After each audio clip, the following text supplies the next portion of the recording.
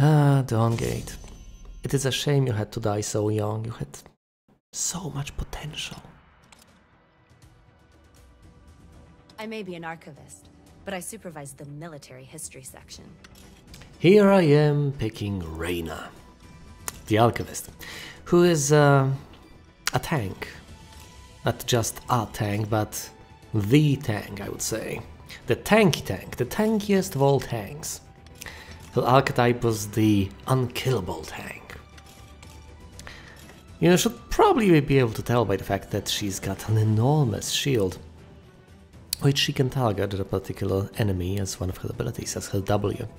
It uses her resource, discipline, all her other abilities are on cooldowns.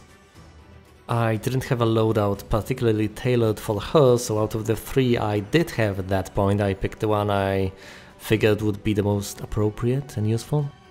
You'll see how that worked out.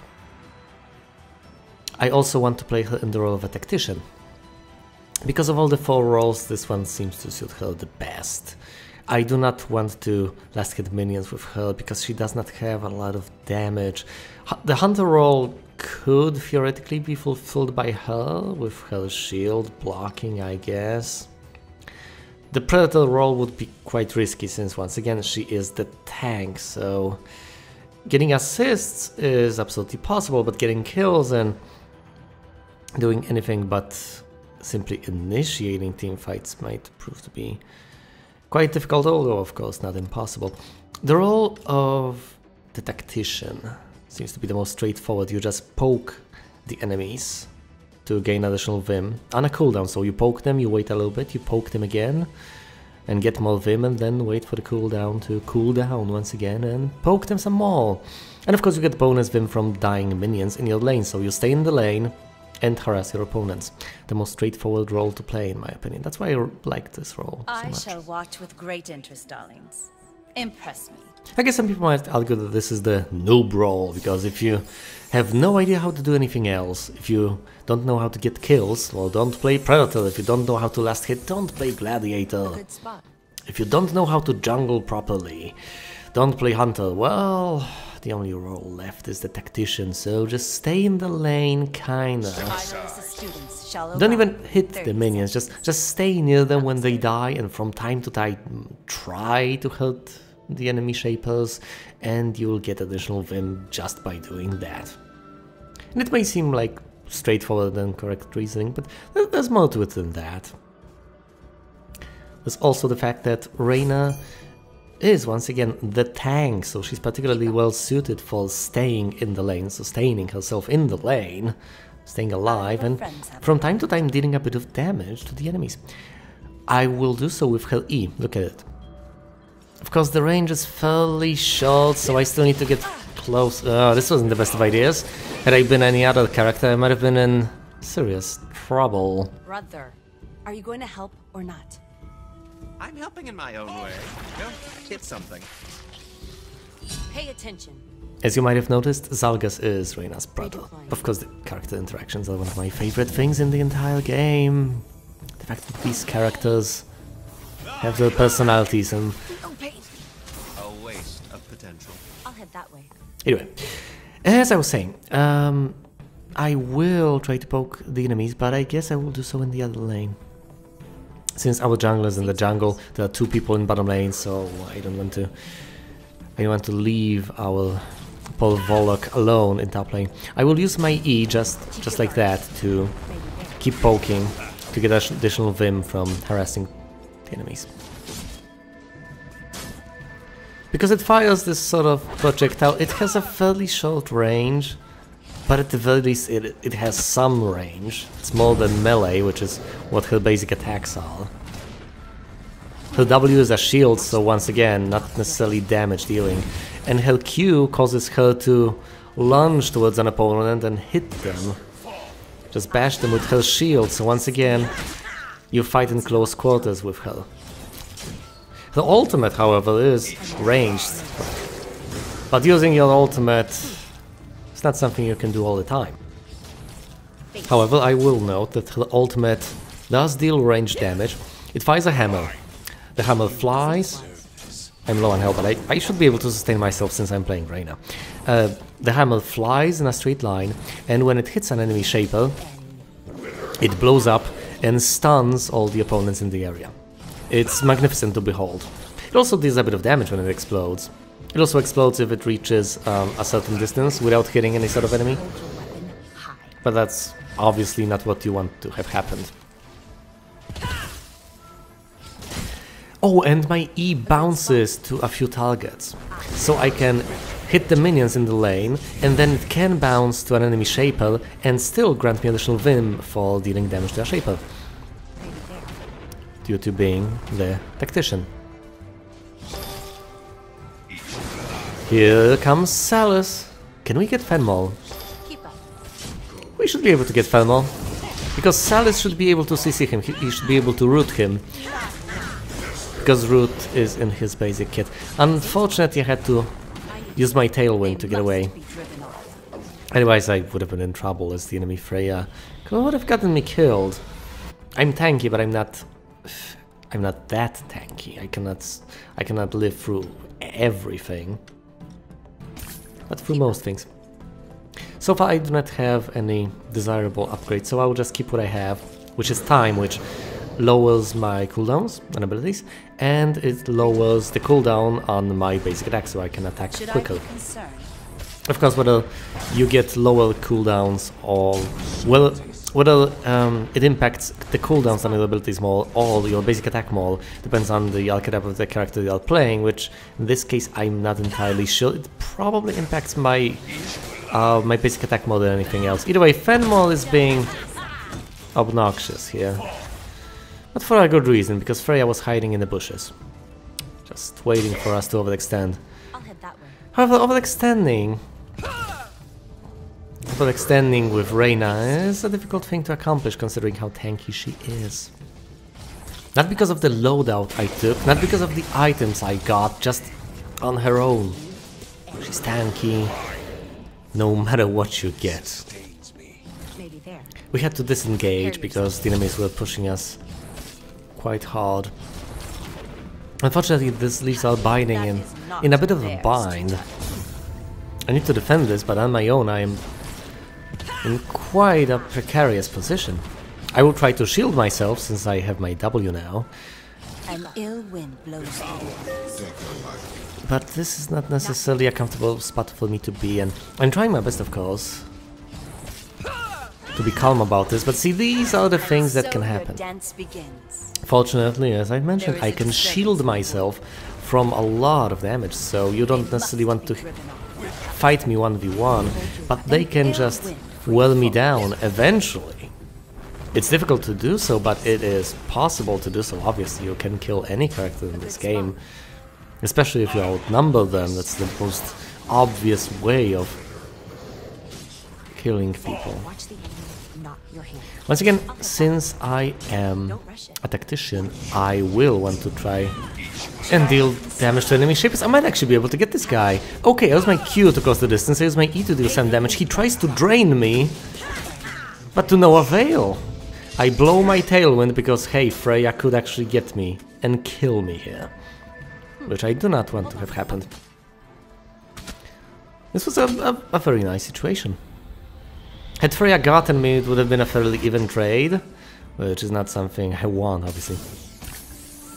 I take energy, which gives me, first of all, shock, which deals a bit of magical damage from time to time, every 10 seconds, or, or less often than that, if I, if I attack less often.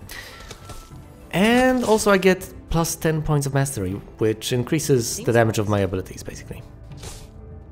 And even though I'm supposed to tank mostly, even though I am supposed to hit people with my basic attacks, I guess, I still prefer to harass people with my E and knock them into the air with my Q from time to time to disrupt them, to deal some damage to them, you know, whatever I can. See here, I use my E, he uses his ult, and together we kill Fenmore once again. Here's Freya. I ult, but unfortunately there is not enough of a follow-up, so we do not get her. But we sure tried. Did you see that? He used his ult, and we got Fenmore, I used my ult, and unfortunately we were unable to get Freya. And here I'm last hitting the minions, well, some of them anyway. If we can get Vex out of position, yeah, he'll be absolutely dead. As Valk said, no escape. Villain has been slain. If caught out of position, Vex is just incredibly easy to kill. Because that's his thing, he can deal a lot of damage, an absurd amount of damage, especially with the right items, but he does not really have any escapes. If you catch him out of position, he's done for. It's as simple as that. Here comes Freya. But she's level 6. I'm level 7, and here's Volok, who's also level 6, so... We outpower her and outnumber, obviously. And here's Fenmore. And as powerful as Fenmore can be, as soon as we take care of Freya, which we will right now, Fenmore will be on his own and will be forced to stay back, to run away, or to face the consequences, which will be lethal. Be smart, Fenmore. Leave this. Leave this binding to us, leave this place. I continue my harassment campaign against Fenmore, who seems to be quite a juicy target. Even though he gets more powerful as he loses health, obviously as he loses health he's getting closer and closer to death, A good spot. which is something incredibly easy for me ah. to deal with since I'm quite a tanky character. And even if he chooses to deal a lot of damage to me, which once again is not the brightest of ideas, I mean being focusing tank, not really brilliant. If he focuses me, I will probably live through that, no matter how much damage he can deal. And overall, if he's low on health, A villain has I can probably at the very least CC him. I can slow him down so my teammates can get him. Or I may actually be able to deal lethal damage in certain circumstances. If he has been sufficiently damaged beforehand. Here comes Freya, boldly striking at our Volok. Admirable. Courageous of her, but misguided. And Freya should die here. Fenmore uses his ult, I try to scale him off, and I did. I tried to use my ult to get Fenmore, but instead Freya jumped, trying to get me, and just ate the hammer, which killed her instantly due to the, um, the amount of damage it deals on its own. I wanted to stun Fenmore with my ult, instead I got the kill on Freya, which I won't complain about, really. Resonance gives me even more bonus damage on abilities, and on top of that, it bounces half the damage I deal from time to time on a cooldown to a random enemy.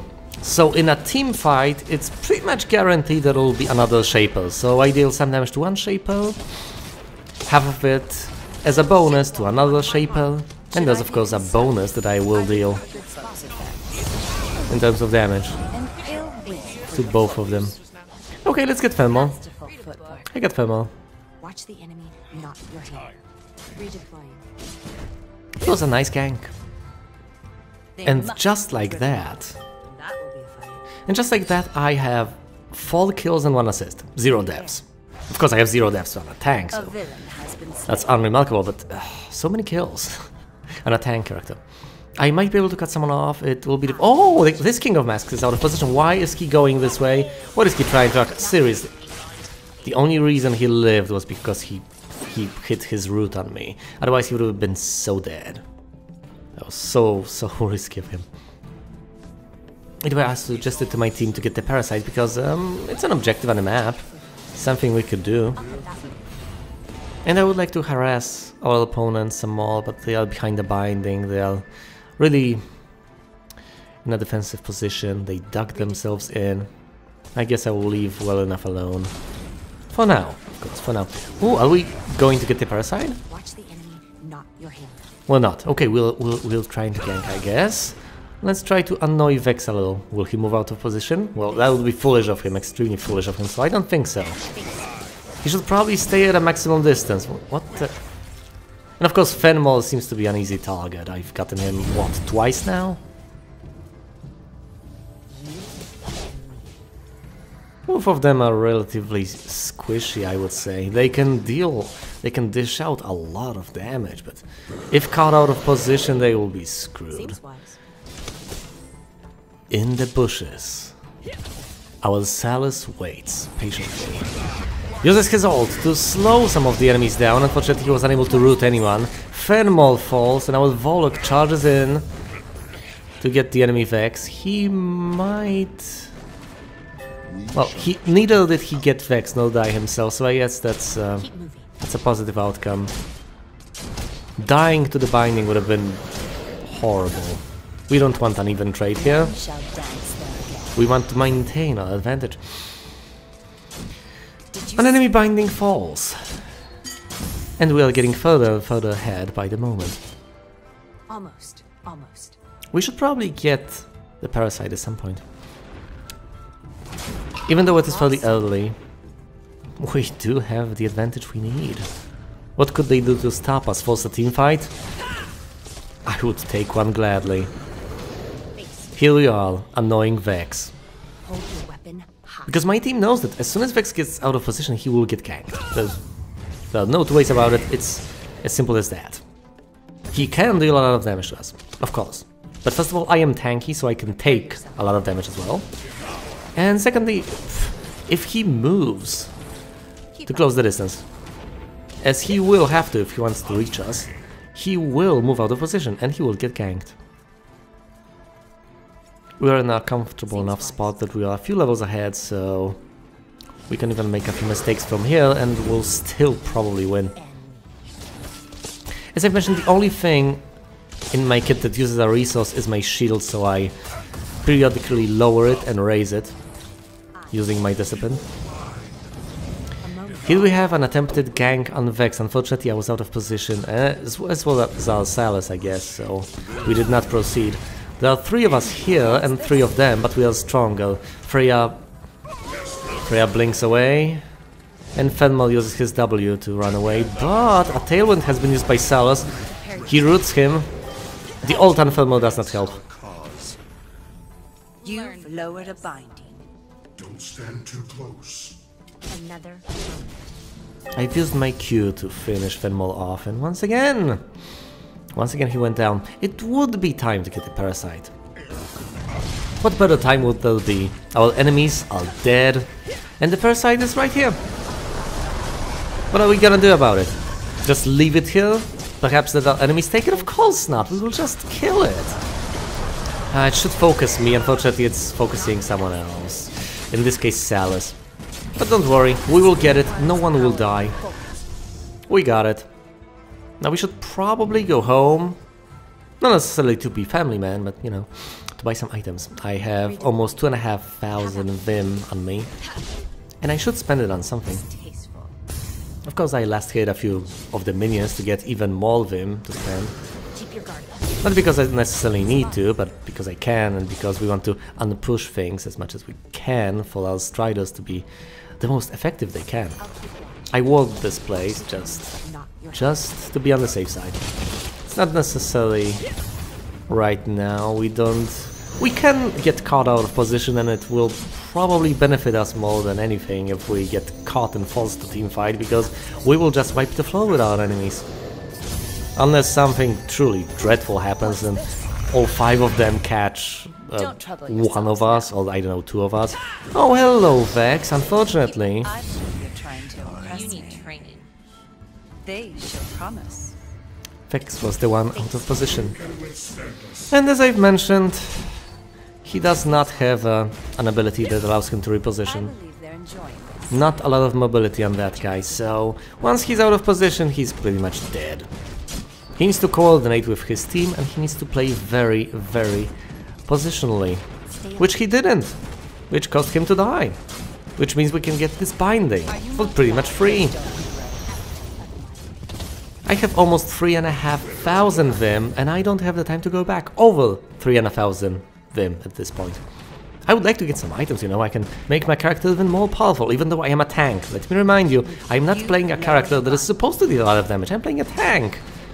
Volok, Volok, Volok is a bruiser, I guess he is the sort of character that can deal a lot of damage and take a lot of damage as well. But I am almost purely a tank. That's the idea. I'm supposed to block damage for my team, defend them, stand between our enemies and Your my team, gentles. protect them. Seems well. But at this point I can pretty much hold my own in terms of damage dealing. Of course I do not deal as much damage as my as my teammates who are more focused on damage dealing, but when it comes to our enemies I I can kill them. With some help at times. Or in specific conditions on my own. That looks good. But still that's impressive for a tank, isn't it? Write them out. Zalgus suggests that we get these guys. And this is a decent idea, though we were somewhat out of position.